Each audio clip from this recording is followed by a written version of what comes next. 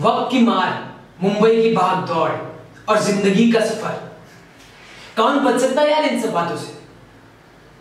एक छोटे शहर से निकलकर मैं इतने बड़े शहर में आया था। सोचा कि यहाँ जैसे आऊँगा, वैसी नौकरी मिल जाएगी और सेटल हो जाऊँगा। पर नहीं, किसे पता था कि यहाँ आने के बाद मेरी स्ट्रगल और बढ़ जाएगी? पर कल एक बहुत अजीब बात हुई मेरे साथ, बहुत अजीब। अचानक बारिश शुरू हो गई। अब मुझे तो इंटरव्यू में पहुँचना बहुत ज़रूरी था।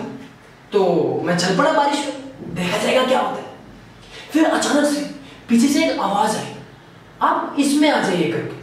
अब मैं कंफ्यूज पीछे मुड़ा, देखा तो एक प्यारी सी स्वीट सी लड़की छाता लिए खड़ी थी।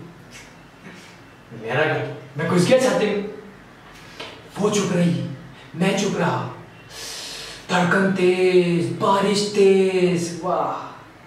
मुझे है ना कसम से वो टाइम कोई आवाज़ ही नहीं सुनाई दे रही थी। एक ही आवाज़ सुनाई दे रही थी।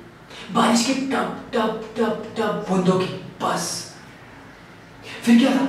एक तेज हवा का झोंका आया और छाता भी उड़ गया।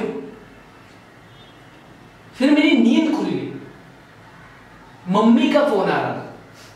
मैंने तो मम्मी का फ़ोन उठाया ही नहीं और जल्दी से जाके सो गया।